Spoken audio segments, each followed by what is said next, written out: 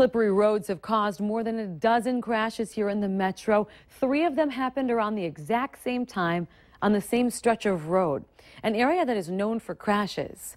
They all happened around 9 a.m. on the I-94 Red River Bridge on the eastbound lane and two in the west.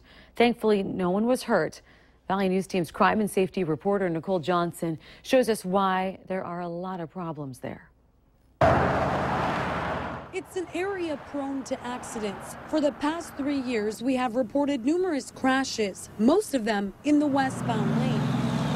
Some slamming into the bridge wall, some taken to the hospital, and others needing a tow.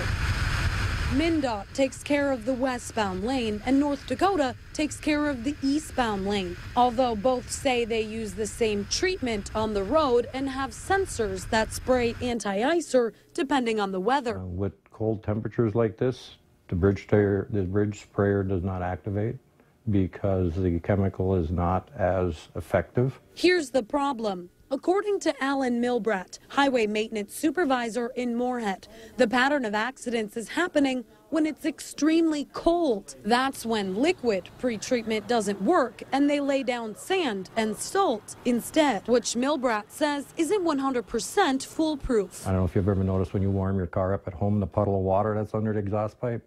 Well, as everybody's accelerating going down that ramp to get on 94, all that water is coming out onto the roadway. The reason there are more crashes in the westbound lane, Milbrat says there's more traffic, more people in a hurry, and more people merging. Adding accelerating on ice can be trouble. You know, there are different chemicals that are coming out that work in colder temperatures, and and I know in, in MnDOT here they experiment with many different kinds, and some of them have favorable results, and some, some of the side effects aren't so good. Looking into the future, there could be changes to prevent accidents like this on the road. Nicole Johnson, Valley News Live.